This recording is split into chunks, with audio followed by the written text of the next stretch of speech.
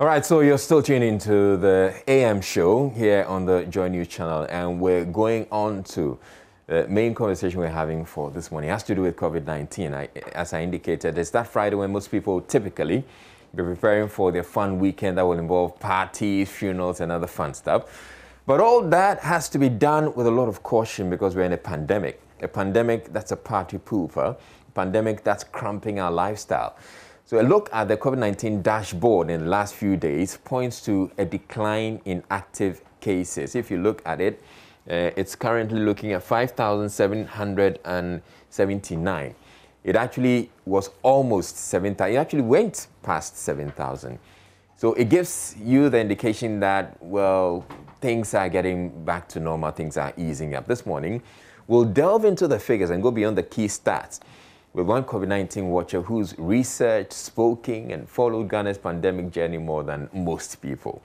Dr. Kwame Sarpong is a pharmacist and CDD Ghana Fellow, and usually he'll be speaking to us uh, via Zoom from uh, his base in London. Today he's here in the studio with us. Good morning to you, uh, Dr. Kwame Sarpong. And welcome to uh, Joy Studios. I mean, this is the first time I am hosting you here in, in studio, even though we've done quite a bit of, of work um, online and uh, on, on Zoom. So you're welcome. And uh, how's, uh, how's it been like so far for you in, in the well, country? it's, it's been um, fun, challenging. Yeah. Obviously, you know the circumstances under yes. which I came into the country. And uh, on behalf of uh, the team here, condolences to you on the on your on the um, on your bereavement, and uh, as well as your brother as well. So Dr. Kwame Sarpong happens to have a, a, very famous brother as well. He's the Director of Public Health of the Ghana Health Service, who's uh, Dr. Franklin Asiedu-Bekoe. It looks like your family is all doctors, doctors. Well, uh, well, we seem to have a fair part of them around us. But like I said, um, I came into the country under those circumstances. And with the pandemic going on, we had to give my uncle a fitting send-off and at the back of my mind was all these statistics. Yeah. yeah. So, having gone through that process, I can understand your initial um, introduction about today being a Friday because last Friday I was at the exact position that ex- a lot of people would be moving into a weekend. So, yes, I can see the dynamic. Yeah. And you know, there, there, are lots of people who actually think that I was saying that we're looking at the figures, the active cases. that people who are not actually looking at the figures, but they tell themselves that they don't think that uh, there's any COVID because they say that they haven't actually met anyone or known people who have died from COVID. I, as much as I feel that that's unfortunate, but that's the perception out there.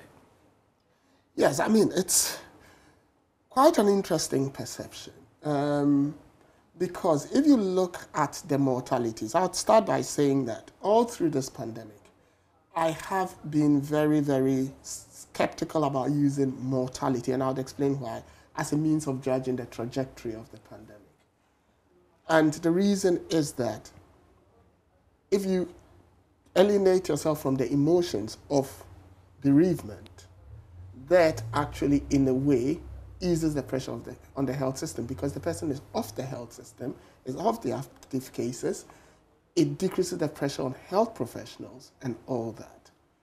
But it also is a parameter that tells you how the pandemic is impacting on the general population. And in countries like Ghana, you, if you look all through till about May, the people who were losing their lives were what I call our cherry-picked human resources. I mean, you know quite a lot of them. Prominent individuals. Prominent individuals, from people who are heading our security, from people who actually taught me. I lost my classmate and my colleague, Professor Kufuor, to this pandemic. I've lost cousins, doctor, and um, what do you call a presiding member at a point in the pandemic. So I can catalog close to 150 people that I know personally, not in the UK where I live, but in Ghana who've passed. So when I hear people say, I don't know anyone who's passed, it's so mind boggling because it's like, are they living in a false paradise? But the truth of the matter is the answer Maybe no. It is no because initially this pandemic was actually disproportionately hospitalizing. And obviously, it's the hospitalization that leads to critical and severe care and unfortunately to mortality. People in the middle and upper middle classes. And that is why there was all these conversations around Christmas about they were the ones holding the parties and all those things that were leading to super spreader events and subsequently were leading to um, hospitalizations and mortalities. Yeah. But if you just oppose that to what's going on, I mean, if you look at the data, there have been disproportionately more deaths after those episodes than there were before. So if you look at us at the 31st of December, for example, there were about 336 mortalities. Now what do we see? 1,084. What does it mean? Mortalities have started in the larger segment of the population yeah. who actually are not known names that we can mention, but because they are not names as well, and they don't have that uh, social connection, no one is taking the mortality figure seriously. But it is still affecting families. And in fact, it affected twice as many families from 31st of December till now. In fact, three times as many because yeah. 336 now, 1089. We'll come into and look at the statistics, but I believe there's a reason people would have that perception that the COVID really, it's um, in crime for area and uh, people who are affluent and all of that. And isn't it because typically the virus is imported? So people who have the means to travel outside or who frequent um, travel, travel, you know, they arrive by air, they come in, and when they come in, they're mixing or mingling with their kind of peers who, who are typically middle upper class. And that's why people tend to say that, yeah, the virus, even the virus is there, it's amongst the, the rich folks. Even though they will forget that, yes, it trickles down. You see, if you want to look at it from that point, then you have to look at how pandemic spread. So you're right in saying the importation, because the virus is foreign to these lands. It's foreign actually to most lands, yes. including even China where it originated from. But, so when it gets into a country, that's what we call assortative spread, which is what you've demonstrated. Spreading amongst your peers. They come to your house, they fraternize, you go to parties with them, they're in the offices, then there's the second segment of spread, which is called disassortative spread. So you take it home, you give it to your house help or your security guard or your driver, and they take it into the second echelon of the community where they live. Unfortunately, with disassortative spread, one of the things that happens is these other communities are more congested than the first echelon that it came from because yes. you live in your house probably with your wife and a couple of kids. Occasionally, someone has come there. You give it to this driver, the driver lives maybe in a slum environment, but maybe because they are working in a corporate establishment, not too congested, but they go there, they fraternize with the next segment, and it goes into the lower echelons. What the data suggests is happening in Ghana is when it goes that lower, because of a number of factors that we're still not sure, of, but one of them being our lower median age, what it means is we have a much younger population. Our median age is 19.3. When it gets into those people, they actually don't fall very sick. They are what we call the asymptomatic, and that's why they tell you that 75% uh, plus will be asymptomatic. But what happens? They then reverse the spread because when it gets into them, they also go through assortative spread. They spread it amongst their lot. But what happens? They reverse the spread and do disassortative spread back into the population from which they got it. And then what we get is what we call the mixed spread model. That is when it becomes more lethal. Because when they are coming, they are a large population size. And if you want to understand this, you have to just look at WACCBIP and the work they've done yeah. and other seroprevalence studies that are going on. And you realize that though our data, if you look at it, all confirmed cases, 100, let's say 123,000, we are 31.3 million people. What does that mean? Less than 1% of Ghanaians have actually tested positive. When they've actually done seroprevalence, which is a test of how many people have antibodies they are getting 30 plus percent. Exactly. Which means 3 in 10 have actually had an infection. And that is where the mixed spread modeling starts comes in, coming in. Then you have the second bit, which is those in those echelons of the population, if they do not have strong immune systems and other things, even though the median age is low, even though their chemistry is much stronger, they start unfortunately falling sick, they get hospitalized. And if they are in parts of the country where the health system doesn't have the capabilities of where, where the so-called Iskaforia people live, then unfortunately the pressure on the system would also lead to a drop in the quality of care, and that would lead to mortalities as well. And that is what we're seeing, and that's why the mortalities are accelerating, especially with the Delta variant, which has a high reproductive number. So those, there's a lot of dynamics going on there. And then there, there are those two who say, okay, so if it's if the spread is that bad, why are we not seeing so many people, you know, falling in and coming into the hospitals? It's, it's got to do with this whole um, disconnect between the actual infection rate as predicted by seroprevalence and the, um, what do you call it, the numbers that are testing positive. Because what constitutes the numbers are testing positive currently in Ghana? If you're traveling out of the country, you've got to do a test. Right. So you might be healthy, it might be picked that you're infected, and therefore you cannot travel. But more importantly, you might go into the hospital because you're unwell and be tested and test positive. Or you might work for an organization for which they have to do routine testing and they find that you're positive. So if you're working in the general population, we are not aggressively testing. I can do a comparison with the UK where you are encouraged to test. Anyone can go to the pharmacy and get a test and has to test twice a week. So you'd see the And it's free of charge? It's free of charges. And you see the data coming out of the UK. So you see that though vaccination is quite high, now it's almost 71% doubly vaccinated, there is a large number of active cases that are currently coming up, but hospitalization is relatively low. But the disease is segmented between the ages of 12 and 16 years. They form about 70% of the people who are getting infected. Unfortunately, what's happening is that they are then causing cross-infection into the much older population. So you see that even though the mortalities are quite low, they have been going up considerably.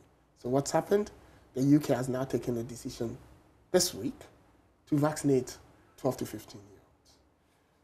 From a strict... It's because they, they also have the vaccines. Yeah, that's what I'm saying. From a strict global perspective, I cringe at that decision, though I have been following the decision-making process because it's going to have an impact on the vaccine supply chain.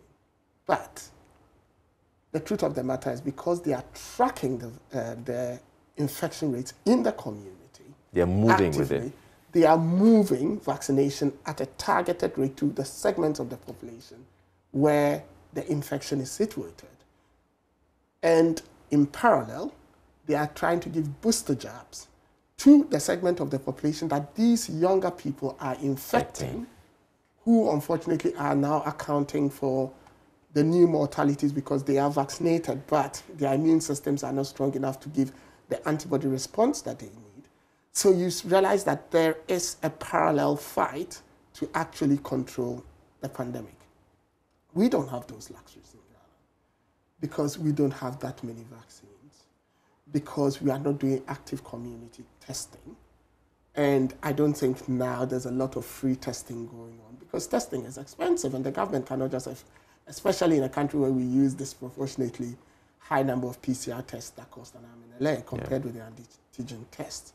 So these are all things that, in my view, impact on our pandemic management strategy. But, like I always say, if as a people we all decided over a six weeks period to wear face masks, that could stop all this. Just over a six weeks period. But when I've come into the country and I've seen, it's virtually non existent. I drove from Accra to Kumasi um, a few days ago, and no one can be bothered about wearing face masks. So you, you ask yourself, do we understand the dynamics of yeah. what's going? And the further you go away from the urban areas, the more, uh, the lower the compliance to the COVID 19 protocols is. That's true. And that's a worry because of exactly what I'm saying. So I don't know if you want to go to the data. You let's, let's go to the data. So let's look at what we have now. New cases 180. It indicates a decline. Hmm. Because we used to have it in the 500s and the rest, it's come down. So we have active cases also of 5,779, which is also indicating a decline because it used to be a lot higher, over 7,000. And then the confirmed cases, 122,543, and the deaths, 1,084. Now, so that is what it looks like right now. Mm-hmm. So if you look at it, um, routine surveillance and hand contact tracing, international travelers, and all of that. And then you look at the severe uh, cases, severe critical, severe 129, critical 51, and dead 1,084 as we have it now. And then active cases, uh, 5,779. So this is what it looks like. And then we can also look at the regions and the regional breakdown and get to see what that also looks like. Okay, so here's what we have for 5th September. So Ahafo, Ashanti, uh, clearly we're looking at Greater Accra having the most. Yes. They, they're having um, 4,099 mm-hmm. active cases. And then it's followed by the Ashanti region, obviously. 4,000. Okay, so we lost that, but yes, we can always go back to that quickly. Okay, so here's what, yeah. So then we have um, Ashanti 428, and then from Ashanti, we're going to, I believe, Western, which is 248. So yes, these are the figures, and um, feel free to interrogate them. So, you see, it would have been good on this if we had the mortality data. All right. So that we know what the mortality looks like region by region. But without it, you can still infer. Okay. And maybe let me give you the June 1 figures as well. So it tells us where we're right. coming from. So this is uh, June 1. We had 1,093 active cases, and then the deaths were 786. Okay, so if you go back to that, maybe let me just go back to this. Yeah. So 1,084 right now, so but it back, used to be yeah 786. If you go back to the middle one, so that we can look at it. So you need to situate this properly. From March, when we had our first case, to the 31st of December, we had 336 deaths. From June 1, 786 to today, 1,084. 1,084, we've had close to the same number of deaths in as many weeks as we had in the entire year. Yeah. That should be concerning to everybody. And that's why community non-compliance and questions around have you seen anyone who's dead concern me. Because when you've had from June to now is nine weeks. You've had as many deaths in nine weeks as you had in an entire 48 week period from March to um, June. December. well, yeah. Yes. It tells you the level of acceleration because you've got five times more acceleration in mortalities than you've got. And that is the data and what it says. Then when you start looking at this, though the mortalities are not there, you can infer. What do I mean by so that? So ideally, we could have had the number of deaths, deaths per region. yes. And break down the 1,084. But without that, the thing about COVID is when you get it, you either recover, you die, or you're an active case. So you can look at the discharge and it can tell you a story. Look at Savannah. Only 75.6% of their cases have recovered. Look at the active cases. It tells you about 13, 14. Their case mortality rate is significantly high. Yeah. Because there's no midline you either get it, recover, an active case, or you, or you die. So that tells you that even though they are not getting many cases of COVID, you are more likely to pass away if you lived in Savannah region than you are in Greater Accra region. Why? Because if you look at Greater Accra region, 93.4, that means less than 1 2% of the people are losing their life to COVID, compared with something in the Savannah region that is much, much higher. Then you can look again, you can see the same picture for Northeast, 87.9%, and you can make the same inference. And then you can look at Upper West, 90.6. So you realize that, why am I saying that? If you look at the recovery rate, average recovery rate, 94%, 94.4 and you do what we call a normal distribution, these are huge deviations. 75.6 from that, you are talking about close to 19% off the pack of recovery. That is a statistical concern. And so any uh, thing that is above 90, mm, that's fine. Ideally, you'd want all of them to be around 94.4%. We are not getting that. And that is what I was in my introductory comment saying that you, when you have the number of active cases going up and the spread is away from the urban areas, you are going to see a dip in the quality of care and a spike in mortality. And the data from the Ghana Health Service clearly points that out. I want us to, this, this bit that you've raised um, is quite worrying, and I think we should ponder it for a, a bit. So essentially, you're saying that if you look at the recovery and discharge rate for each of the regions, it tells a story. Yes. So that if you have anything significantly deviating from the average, the national average, that's worrying. Yes. And the ones that stand out will be Savannah. Yes. And you're saying essentially that if you're in the Savannah region or you get COVID in the savannah region, you're more likely to die. Yes, compared with compared Accra. with someone who is in uh, the Greater Accra region, yes. for instance. And that is to dispel the. I've, I've made these um, observations, and I'm trying to make them public because it dispels the initial preamble that you gave. Sabi, it's a Greater Accra regional disease. Maybe it used to be. be. yes, it might be disproportionately because you cannot compare um, what do you call it, 65, um, 61,000 plus or 65,000 plus 66,000 cases over the period to 205. But if you unfortunately find yourself in the court of 205, your probability of not making it is much higher. And that should be a concern because the number of people getting it there should not, under normal circumstances, be putting as much pressure on the health system as it would do in a place where 65,000. But then, if you go back and look at our spread of health professionals, you would understand why that's going on because we have a disproportionately lower number of health professionals in places like the Savannah.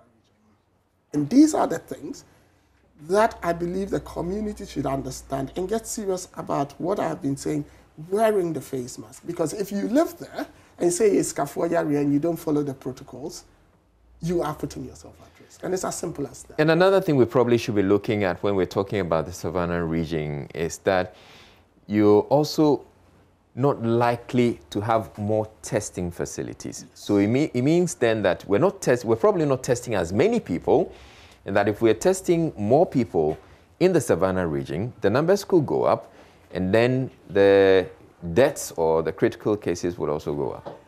You see, that's poignant but you have to look at it from how's the testing going on currently? What's the average cost of a test now? It's about 250 Ghana cedis. Is, is yes. it not like the ball? 250 cedis. You can actually pay, get uh, test done for 250 cedis. Yes, so ball. It's about the cheapest. Okay. What's the median wage in Ghana?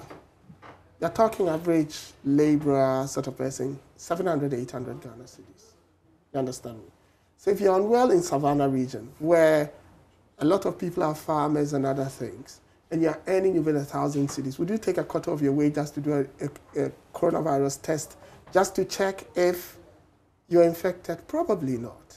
So you're right in saying that. So when you're looking at this from a public health standpoint, you need to look at the um, demographic dynamics and um, affordability of the people to be able to make um, a judgment. And yes, if you do it that way, then you yeah. would realize that they wouldn't test enough in that region because they just can't afford to.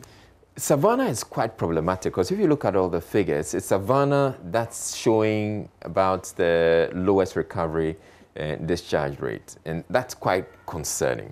So Savannah 75.6, and then we're also looking at the Northeast region, 87.9, which is also, you know, quite quite low compared with the national average. And then there's Bono East 2, which is 90.8. And then there's also Upper West, 90.6. So there are a number of regions that, that are uh, around the 90 mark, but you're right in saying that um, Savannah um, is much, much lower. And that's what I'm saying, that the people in these communities cannot be living in quote unquote a fool's paradise to say a Yeskafoy area because the risks are similar uh, everywhere you go. So for them to be not caring and assuming is going to affect a number of people, and you also have to look at the dynamics, even if you're Skafoy area. People are traveling.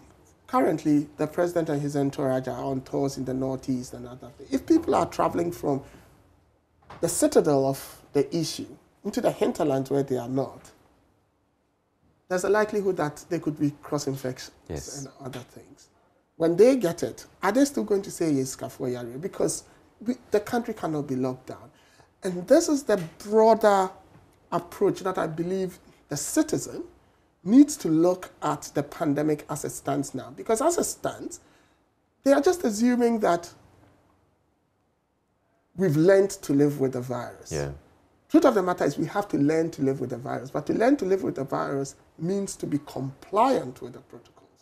What's the compliance level? Extremely low. And that is where the concern comes. The next thing I want us to talk about is how vaccination plays into all of this. But before then, let's go back to the figures as we have it. This is a June 1 and look at the and see if we can see a correlation uh, between the uh, recovery. Okay, so this is June 1, the figures for June 1. June 1. And we seem to have. And that's what the point I was making. Do you see that this, um, how Savannah was high then? Yeah. Do you now realize the mortality trends I'm talking about? They were, recoveries were 95.9. Now they've dropped to 75. What does that tell you? And, and this is something that you don't stand in the middle. You either get it, you recover, you're an active case, or you pass away and their recovery and discharge has dropped significantly over a nine week period from 95 to 75. That's a 20% drop. You see, and these, are, for someone like me who looks at the data, these are the trends that are concerning to me. And these are the points that I'm making because if you look, there were three, only 3% off the national average. But you can say that the national average of recoveries has dropped from 98 to 94 because of regions like Savannah who are way off our average recovery rate.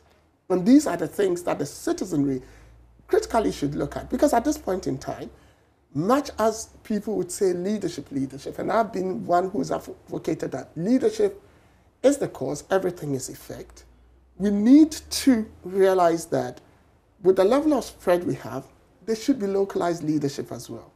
And without people in these regions realizing the stakes, their recovery rates will continue dropping. And you can say the same for all the regions you identified because you realize they were all 98, 90, now suddenly they have dropped significantly. So let's go back to it. And so you can see the trend. There must be something happening in the Savannah region, which uh, would mean that will require the health officials to pay particular attention to. I don't think the health officials are not aware of I, I don't think, and like I've said, if I'm looking at this and I'm aware of this, I'm quite sure my brother is aware of this. I'm quite sure uh, Dr. Aboagye is aware of it. But the truth of the matter is, at this point, having put out so much information, the citizenry also have a role to play in assimilating that information, diversifying it, and complying. That is not happening. And that is why I have always said that our risk communication has been an issue because the citizenry are judging the level of risk they face poorly in those regions, even though their recovery rates are dropping. That clearly tells you you're at higher risk, but you're behaving as though there's nothing at stake. Yeah. That should be worrying to anybody. And that's, those are the things that, for me, the citizenry in those areas need to be looking at. I'll throw in something else, which I think is also impacting on the numbers and uh, playing a role, and that's vaccination. So if you take Greater Accra, where we've known Greater Accra to be the epicenter, we've had a lot more vaccines in the Greater Accra region, in the Ashanti region, than the other regions. And these are the regions too that you're likely to encounter people who are saying that I don't want a vaccine or we haven't paid attention to. Do you think we should be having another look at our approach? But first of all, the fact that our recovery numbers in Greater Accra region may have improved or may be looking this well. No, they have. They, they have. Uh, go back and you realize that 5th September, it's um, 98. So, but so this Greater Accra region, yes. June 1? Yeah, across the country, that's another thing. And that's the, what I was saying, that mortalities have gone up. Recovery rates have dropped everywhere because more people, unfortunately, are passing away. And that is why you see 336 at 31st of August, 1084. More people are passing away with COVID now. All right. But we are not paying attention. And that's why, but some areas have dropped significantly. significantly. So 20% drop is off the normal a 10% drop is off the normal. So those regions we are talking about. But to answer your question about vaccines. Vaccines. Vaccination is a huge strategy. And I can clearly understand why the concentration was on Greater Accra. Because in, in public health emergencies, there's something called ring vaccination. When you identify the problem, the seat of the problem, the quickest way to contain the problem is to vaccinate around it. That is how Ebola was managed. You vaccinate around it, and then you vaccinate in it so that the people cannot come out. It's about, it's similar to forming an artificial barrier around the problem. And so that was what was done for health workers because they have to protect themselves in the hotspots of Greater Accra, the hotspots of Ashanti, and other things.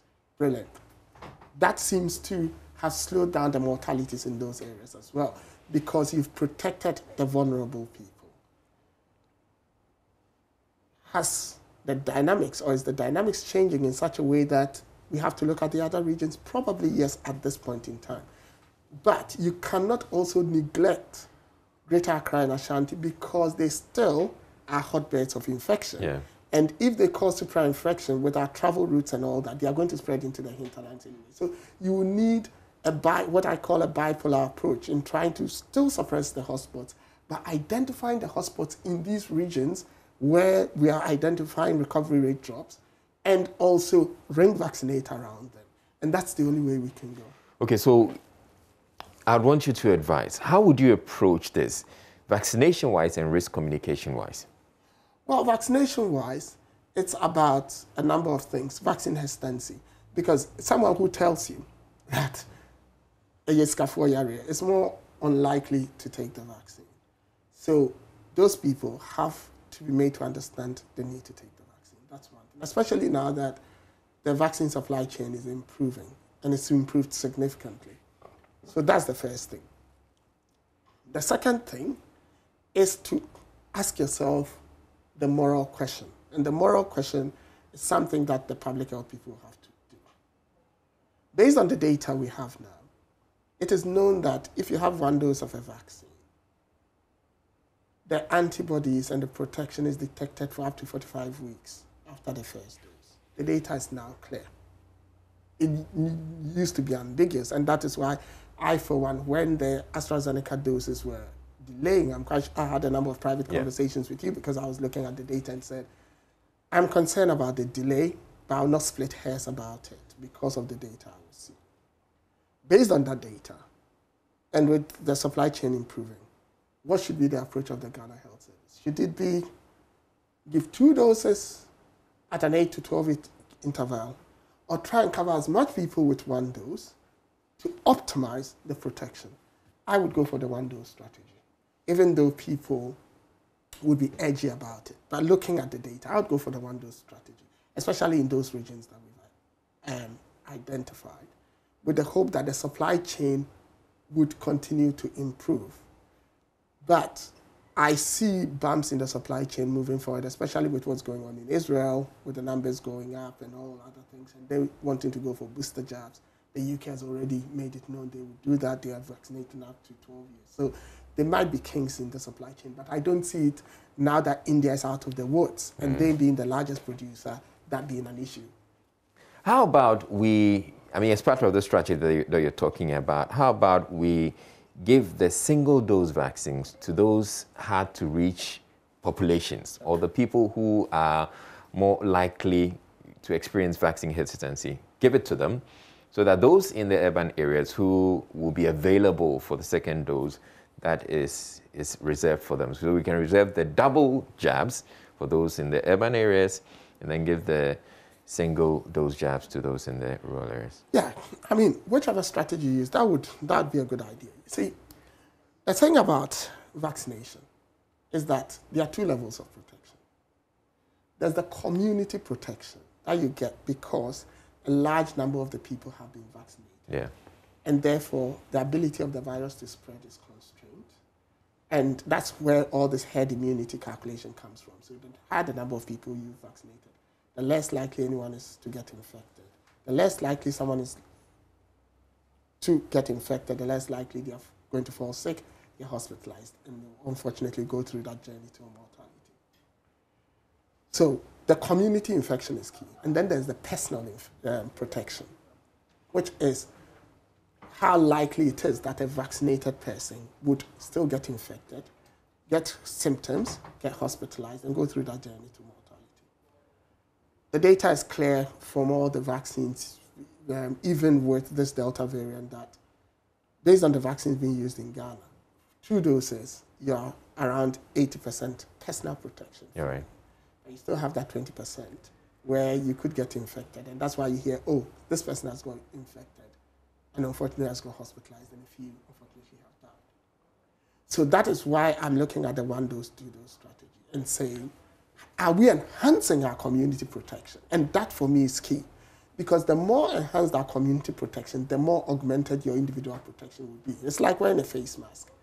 If you wear it, you protect me. If I wear it, I protect you. If both of us wear it, we protect each other. Yes. If you wear it and I don't wear it, you protect me, but I increase the probability if I have the infection of infecting you.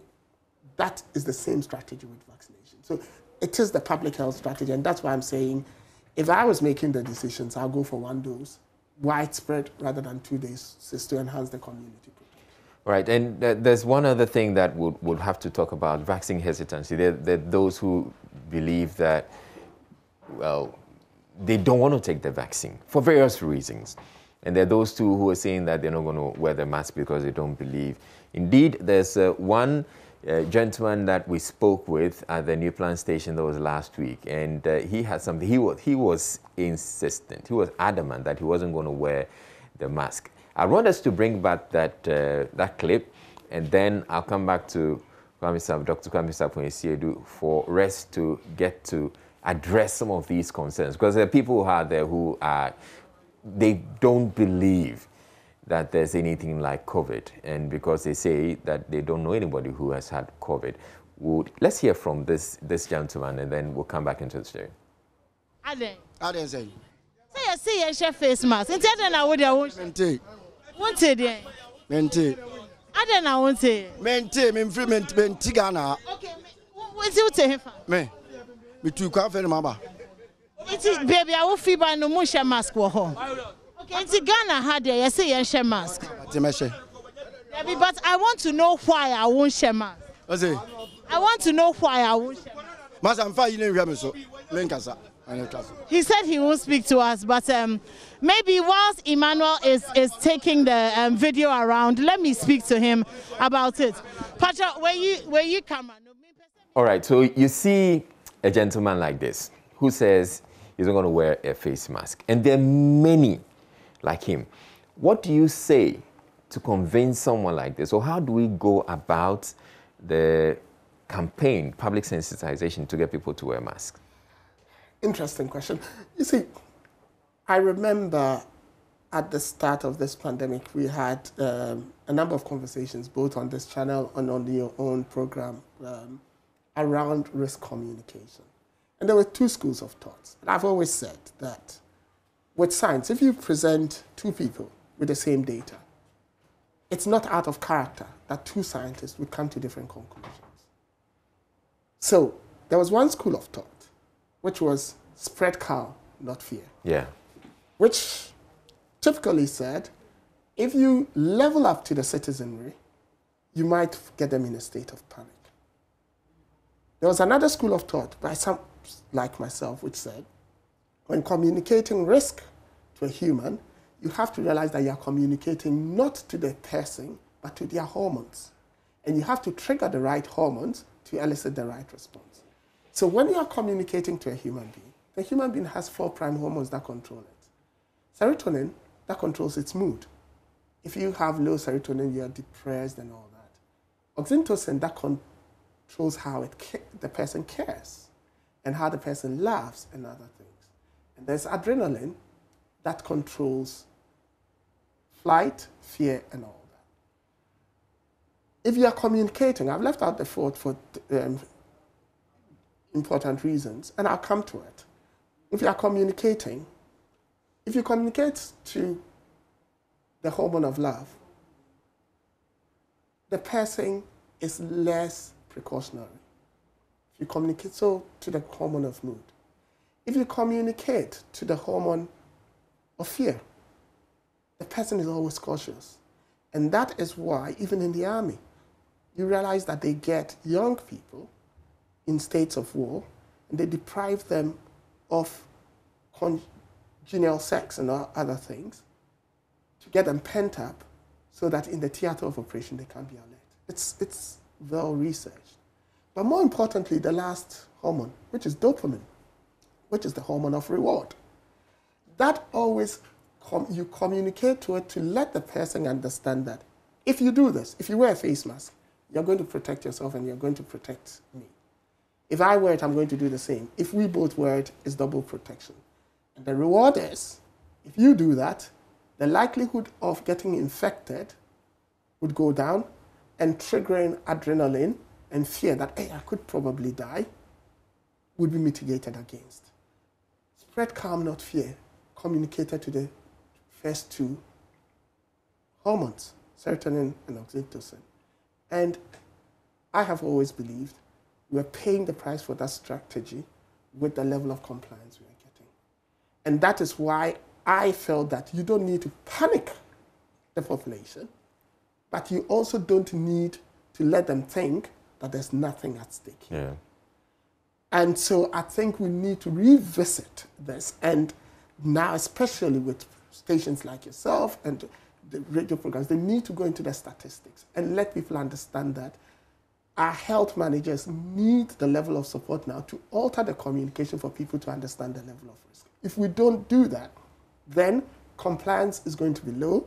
And the only strategy out of this would be vaccination because the more, like I said, to enhance community protection. Yeah. Because we would have lost the public health community protection that comes from face masks and um, compliance with the protocol. Talking about the communication and communicating the fear to the fear in us, would you also suggest, because there have been, we've had a number of people who have had COVID, very prominent people, but we have been unable to suggest or indicate or point out that these people have. Elsewhere in the, in the UK, it's a lot easier for people to get COVID to come out to say that I had COVID. And when people die of COVID, they say, or their families will say that this person died of COVID. Yeah, I mean, there are even some who have been vaccine skeptics, have gotten into ICU, and have spoken out of ICU publicly that they were skeptics. And you know, a lot of them have been published, and unfortunately have died. Yeah. Yes, that is the risk communication I'm talking Should about. we have, or should we make it a point to put out some public figures who have died of COVID to probably communicate to others that COVID is real? Well, yes, you can make that argument, but you have to also realize that in communications like that, if the person has passed away, there's a next of kin. The next of kin then makes the decisions moving forward about the estate of the person, including the circumstances under which they died. Unless the next of kin and the family are comfortable with this, you cannot go down that route. But you have to look at it from the point. Why is it that someone who's a vaccine skeptic, vaccine hesitant, would go into ICU in the UK and is prepared to be filmed and is prepared to speak out openly, even though they know they are at the point of death. And why is it that in Ghana, families would be skeptical about their Putting out information, information that the their loved one COVID unfortunately status. passed? It's because of the stigmatization we've attached to COVID. And the stigmatization also comes from this communication strategy we took. Because we should have made people aware that it's not a stigma to die of COVID, but the, um, what do you call risks are real for someone with XYZ characteristics, comorbidities, and all the obesity, age, and all that. Because we all know that for every six years, age, there's a doubling in the risk of death if you contract COVID. These are statistics there. So, yes, that would be a good strategy if they want to communicate that way. But the answer is with our social architecture, would people want to go down that route? Because you have to bear in mind that some have even denied. On social media, we've seen it that their loved ones died of COVID, even though they tested positive and health professionals knew. And even for some of them, we actually saw public health professionals involved in the interment of the body, but they still come out to deny that they didn't die of COVID. How do you expect such a person who has sworn to the point of death that the mortality was nothing to do with this pandemic to suddenly turn around and say, ah, yes, they died of COVID? I know. And, and you see, these are the challenges that we don't hardball and level up to. And then we get foxed up in a situation like this where you want to alter the communication and communicate to the appropriate hormones, but you're constrained because originally the people have go. gone in denial. Yeah. And to climb down on their original assertion It's going to Yes, be a lot it. a lot of difficulty to themselves and might even eke out the pain of the bereavement, which now may be subsiding. So there's a lot out there that you have to look at. Yeah. All right, so that's uh, Dr. Kwame Sapong Esiedu, who is uh, a pharmacist, but he's with CDD Ghana as well. He's usually based in the UK, but today we have him here in the studio. Would be coming back to summarize, to wrap up the conversation. But one of the things that stands out for me is the Savannah region and its, uh, its recovery cases, which suggest that uh, we should be careful or they have to pay particular attention to their, their cases. And uh, so that's, So if you want to do something, 47, yes, Added to um, what do the you call it? 155, Yes, 155, which is the recovery which is the discharge. recovery. You subtract it from this and you get your mortalities. And that's why I didn't want to do some of these calculations because Let, you've- let's, let's, let's quickly do that. So 47 yeah, plus uh, one, no, so we're taking the 155 minus 47. All right, I lost that. no. 155 minus Yeah, you, you, we can do it while on the break and put the, the, the, um, the data. But that's, that's how easy it is to look at some of these figures Yeah. and come out with. So that's it. Okay, so 155 minus 47, we're having one. No, no, 155 is what has recovered. Okay, so 47 is what's active. So if you add the two together, Okay, so we're getting one, 202, uh, I believe. Yeah, yeah. 202. So tho- that's, that's, how you, that's how you can do all these calculations. But then you realize that what's their active case count? About 50% of their caseload is active. Yeah. 47 o- over, over this. And that should tell you that they disproportionately have a higher risk.